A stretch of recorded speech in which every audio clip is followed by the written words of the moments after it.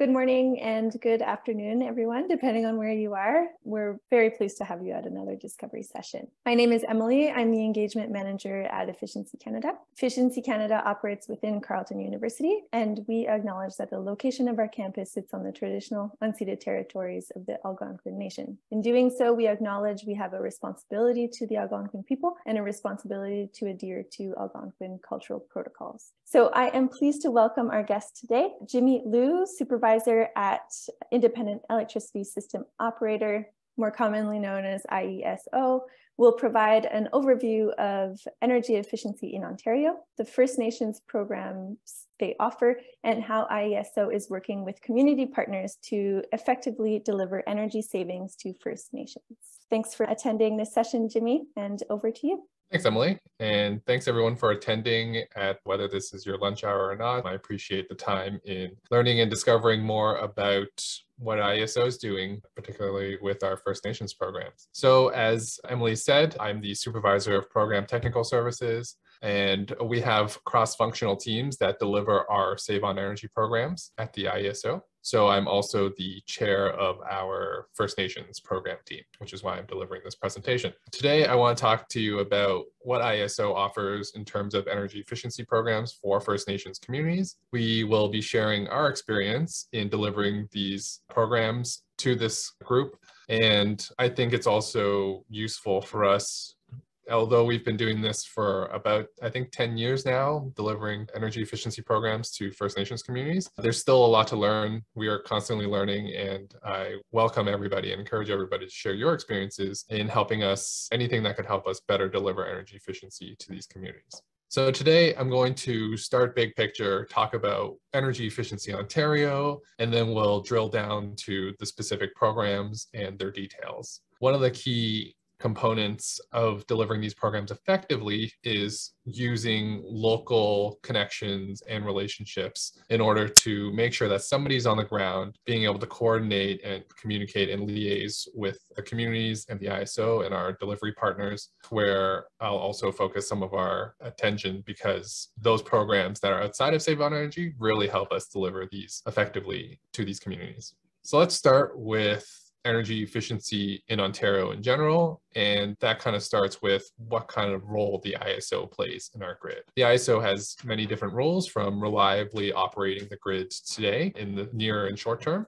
but also planning for the future of Ontario's energy needs. We also coordinate and enable the market for efficient electricity. And of course, in all this is included the province-wide energy efficiency programs that my group, my department runs. We also highly value engaging to ensure that our decisions are well informed. We value innovation and as a grid operator, cybersecurity is top of mind for us. We're also the smart metering entity. So now that you know a little bit about what the ISO does, let's talk about energy efficiency in Ontario. This is critical to ensuring that our long-term energy costs are low. Energy efficiency contributes directly to saving electricity in a cost-effective manner. There have been other reports out there that say that energy efficiency is one of the lowest cost ways to provide service, electricity services at a lower cost. And while we're planning for these long-term needs for Ontario, energy efficiency has had such a big impact that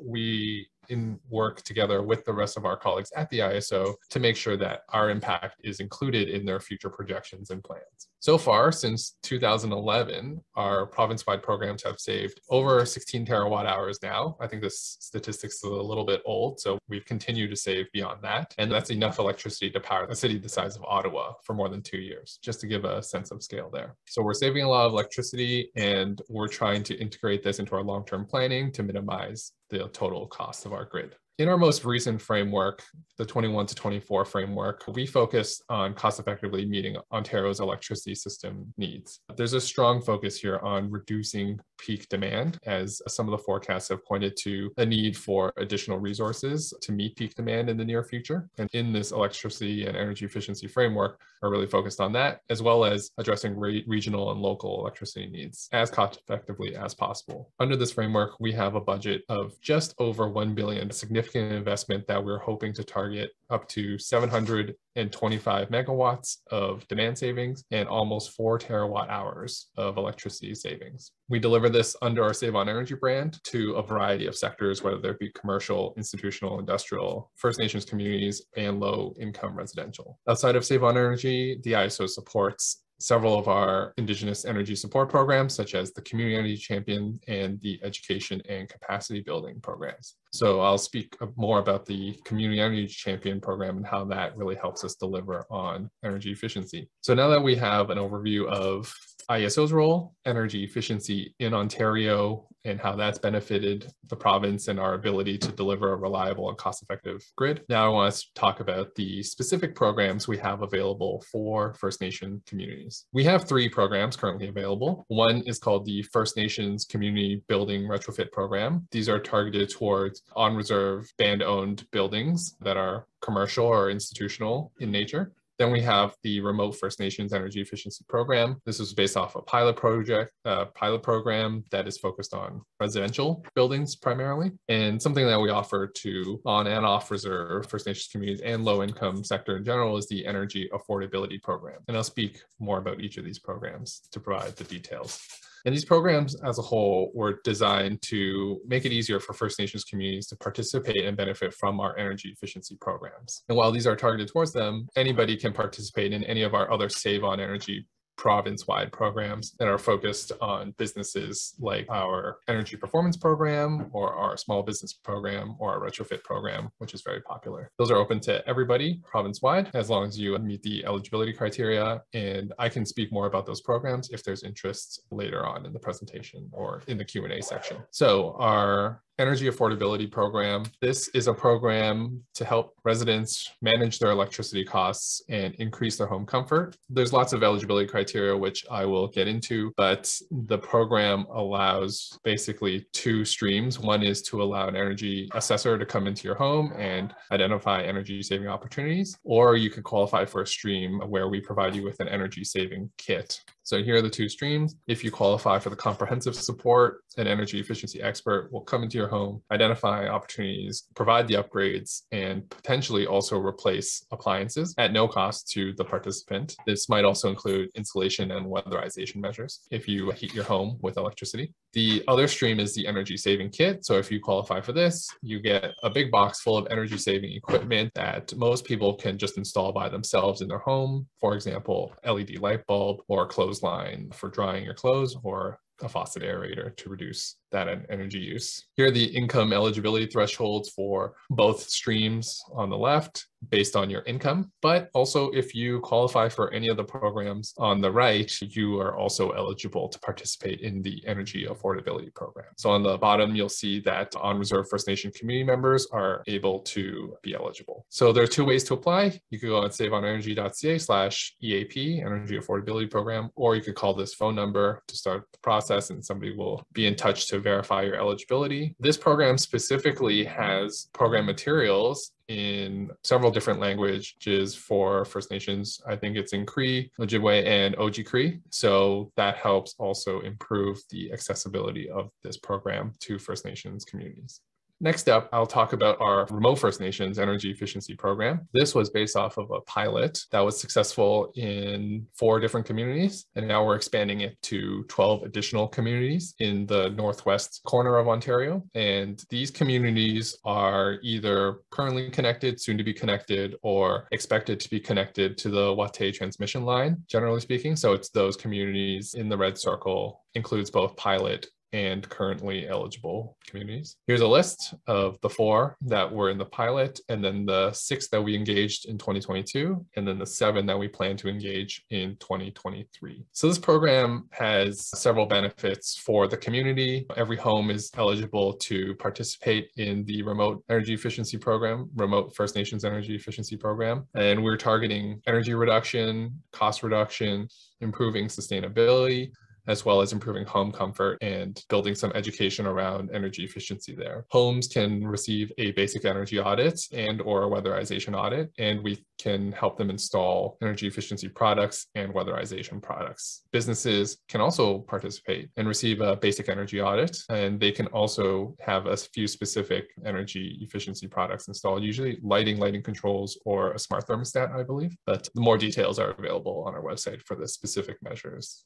available. And this program really demonstrates what ISO has learned over time. Working with our vendors, EcoFit, we are really focused on ensuring that there's a local benefit beyond just the energy efficiency. And that benefits the communities, but it also helps us deliver these programs more effectively. There's local employment opportunities for a community coordinator who liaises between the band office, residents, and the ISO or our delivery partners. And then there's local skilled staff to install insulation or do some of the other measure installations. And it also builds capacity because our delivery vendors help train these local staff to learn how to install insulation, learn how to air seal, and understand that a lot of these community members use wood burning systems, and that affects the type of uh, measures we're allowed to install and how we should install them and what would be effective in those communities. So we built this off the pilot and we've had a lot of lessons learned, and we are implementing that to make sure that this program is effective. The other type of program we offer to First Nations communities is the First Nations Community Building Retrofit Program. Overall, this program allows over up to $100,000 in funding for projects to improve the energy efficiency in up to four band-owned commercial buildings. There's two ways people can participate. You can have this direct install track. So we have a list of measures that we know will save energy and are quick for our program delivery agents to put into the band owned buildings, or you could have a custom install track where the community might have a more specific energy efficiency project in mind that don't fit the prescribed lists, and they're able to contract with third party engineers or contractors or energy auditors to target different band owned buildings facilities for energy efficiency. Some buildings include arenas, street lighting, which is more facility, and then wastewater treatment, but also open to exploring other facilities that each specific community might have in there. So this one isn't restricted to just the remote First Nations connected to the Watay transmission line. All grid connected First Nations communities are eligible. They have to be upgrades to band owned commercial institutional buildings and a band council resolution is required. Once the application is approved, then there's a bit of benchmarking and data collection analysis that we conduct before identifying you know the measures being implemented. So far nine communities have signed up to participate. Our delivery vendors summerhill have been doing a great job getting the word out about this program and getting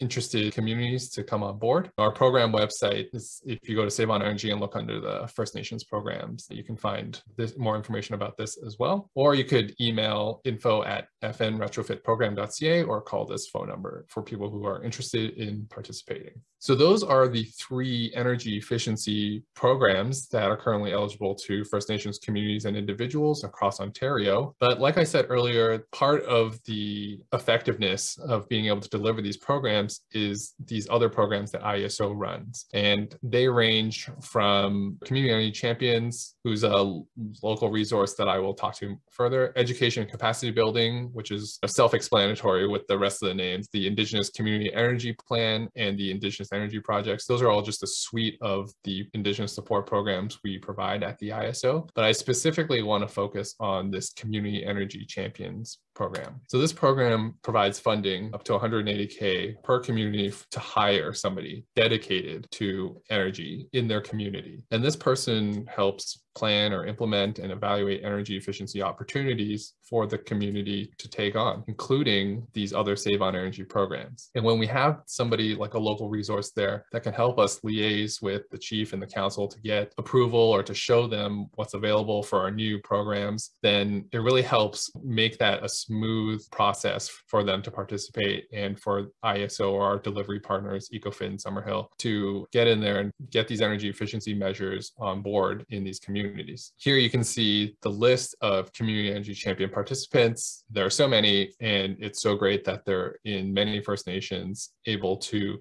bring energy opportunities to these First Nations and energy efficiency from my group standpoint. And I would say I couldn't imagine what it'd be like to develop or implement these energy efficiency programs without their support. They're not just there for energy efficiency, but sometimes we need to reach out and contact First Nations communities and discuss research projects or other kind of insights to help us improve these programs that we deliver. And they're a really helpful resource for that as well. So today I've gone over what energy efficiency is like in Ontario, the various offerings we provide, ISO's role, and then over the three different First Nations programs that are available to those communities. And I'm, like I said at the beginning, very interested in learning what other people's experiences have been in delivering energy efficiency or other energy projects to First Nations communities so that we can continue to learn. But I'm also happy to answer questions about our programs, either First Nations or the broader Save on Energy programs we have available. Thank you, Jimmy. That was great. So I've got two questions for you, Jimmy, at this point. First up, does IESO consider the embodied carbon in energy efficiency products so the bill savings are also GHG savings? foam releases more carbon in its manufacturing than it saves, for instance? I actually believe that's not the case currently. We do calculate greenhouse gas savings from our energy programs using our own internal analysis of the grid's greenhouse gas intensity, but currently not the embodied carbon in delivering those energy. There are still GHG savings, but yes, we're not currently calculating those like scope three emissions, basically. Thank you. A question from Colleen. Is your funding for the First Nations champion a one-time grant of 180,000 or do you have an agreement with the community on how long the champion will be employed? Yeah, this is a bit outside of my wheelhouse, but I do believe it's a multi-year agreement and every year the community or the champion gets a certain amount and then there's also a certain amount I believe for like training in transportation or capacity building basically for that champion to learn about energy and energy efficiency. So it's not a to my knowledge a one-time thing, but the more there's more details on the ISO's website for sure. Okay, great. Jesse says that it looks like a great suite of programs. Are there gaps in the hmm. programming that you've identified? What would you add if you could? What are some key challenges that you have with the existing programs? So part of our programs is to constantly evaluate them every year. All of our programs, when there's enough participation, go through a third party evaluation and they help us identify the different uh, gaps and offerings, as well as our delivery partners. They're speaking to residents, speaking to communities who tell them various different things about what would be better to do. So we are constantly looking at these things and constantly improving. I think some of the things that come to mind are challenges around offering maybe deeper retrofits and energy efficiency There's a lot of challenges in getting materials up there and also making sure that our retrofits work for the local circumstances. So there's a lot of challenges to figure that out. And also, I think one great opportunity is to try to partner with other programs that focus on First Nations communities. That's something we are constantly trying to do. Different, another challenge there is like different people have different mandates. We're trying to save energy. That's our organization's mandate. And we have to connect with other partners to make sure that everybody's objectives are being met. Great. I have a question from Karen Abraham. Direct install programs in First Nation communities in Canada historically have had very poor results, cost effectiveness, and the ability to actually reduce energy bills due to poor housing conditions and limited scope of programs that can address broader issues in homes. How does this program differ? Are there specific innovations that address the housing crisis with respect to mold and moisture, ventilation, accessibility, health and safety, plumbing issues, etc.? Yeah, so it's a great question. That's basically pointing to the challenge that I was trying to allude to, but is putting it into words now. It's yeah, challenging to figure out these how to coordinate with other agencies so that we have enough funding to do a deeper retrofit where these housing conditions are dramatically improved. I think that's one of the key challenges where if there's some sort of issue with specific structures, it's not useful for us to put in insulation or a different kind of ventilation when that wouldn't suit the homeowner or we don't have enough capital or funding to do that. And so we're really trying to think about other organizations where we can partner, how we can leverage all of our funding to then implement this one holistic retrofit to these homes. Another challenge there there is like timing. Different agencies are delivering these programs at different rates with different windows, and sometimes those don't overlap that well. So lots of things for us to figure out for sure. Understandable. A question from Christina. Are there minimum energy reduction requirements for the retrofit programs? Are these considered deep energy retrofits? I don't think so. If this is specifically the First Nations community building retrofit program, they can participate and get the direct install stream. That stream of programming, I think, doesn't have a minimum energy reduction requirement because we know that those materials, those products produce a reliable level of energy savings. If it's the community install track, then I'm not sure. That might have a requirement, and our delivery vendors will probably be able to work with the local community and the facility to identify where the savings need to be or how we can enhance those savings. I don't think these are considered deep energy retrofits, although I think that term might be a little, there might be some gray area of that using that term in our industry. I'm not sure if our community building retrofit program delivery vendors are on this call or not, but if they do have more specific answers, they might be able to chime in. That's great. Thank you. You might have answered this, but there's another question that addresses the same type of question. Do those performance objectives differ when working in partnership with Indigenous communities? Do you have anything to add there? They don't have to pass cost effectiveness tests. There was a decision to make sure that we don't have to pass the tests, but that we do have to deliver the programs cost effectively as possible. Okay. Kate is asking, are passive heating or cooling designs considered in energy retrofits? Has IESO considered retrofitting to a passive house standard? Yeah, like I mentioned in the previous points, there's some challenges getting deeper retrofits to be the standard that we apply for or the goal that we can aim for because of the different challenges that our programs face. That would be great to have really deep energy efficiency retrofits being done in First Nation communities. And I think that could be a goal that we look forward to and trying to achieve with our programs eventually. But right now we're doing the current learning learning and we are developing what works based on what we've learned and understood and can deliver currently. Kirk is asking what options are available for smart grid, net zero retrofits, or training for First Nations on or off reserve for residential part nine or commercial part three buildings specifically? I actually think some of the other support programs, the Indigenous support programs that I mentioned that are not delivered under energy efficiency, do target other strategies like smart grid or renewable technologies being implemented in Indigenous communities, or those are eligible to be considered under those programs. So that's an option. And the training is also part of that.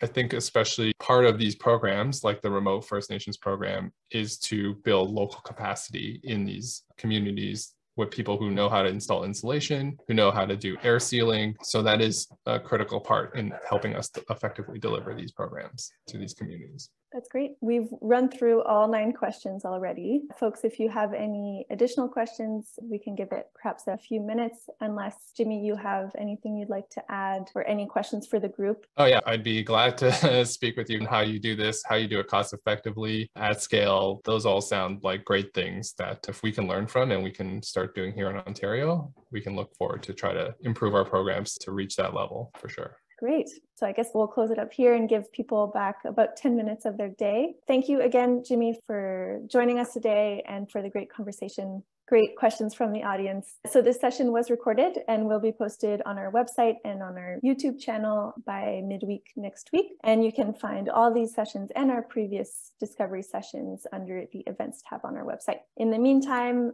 stay connected by joining us on our Discovery Hub or joining our mailing list on our website. Thank you all for joining us today. Have a great Friday. Have a great weekend. Thank you again, Jimmy. Thanks, everyone. Bye-bye.